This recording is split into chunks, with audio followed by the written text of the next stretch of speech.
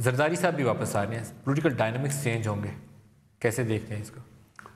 कोई फ़र्क नहीं पड़ेगा, जरदारी साहब का वापस आना, बाहर रहना कंट्रोल तो जरदारी करते हैं ना, पार्टी को।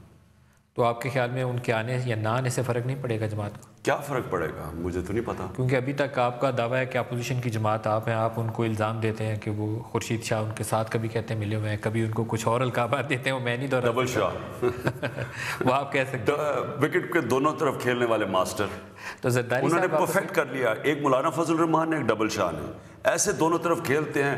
लग रहा होता है कि ऑपोजिशन है और अंदर से साथ मिले हुए हैं। अगर जरदारी साहब आए तो आपको लगता नहीं है कि डायनामिक्स चेंज हो जाएँगे? नहीं जरदा आसिफ जरदारी की और नवाज़ शरीफ की एक ही इंटरेस्ट है। दोनों नहीं चाहते इस मुल्क में इतसाब हो।